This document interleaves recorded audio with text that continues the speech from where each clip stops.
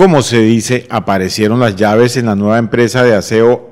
VIP. Noticias La Lupa Araucana conoció los documentos de la constitución de la nueva empresa de aseo de Arauca Aseobit. Allí se puede observar que uno de ellos es el exgerente de la empresa de aseo de Arauca de Mar, Carlos Mario Restrepo, y al parecer sus dos hijos. La nueva empresa de aseo de Arauca, aseobit está constituida por las empresas Grupo Orión y Gemes SAS, donde las participaciones de los socios está de la siguiente manera. Los socios de la empresa Grupo Orión son Carlos Mario Restrepo con el 95% de acciones, Sandra Patricia Gómez con el 1% y Luz Margarita Gómez con el 4%. Los socios de la empresa Gemas son Carlos David Restrepo Escobar con el 50,38% y Sebastián Restrepo Escobar con el 49,62% de acciones, quienes al parecer serían los hijos del exgerente de la empresa de aseo de Arauca de Mar, Carlos Mario Restrepo. Según la documentación de esta empresa constituida en el municipio de Arauca, de la siguiente manera quedarían la participación de los socios de la nueva empresa de aseo de Arauca,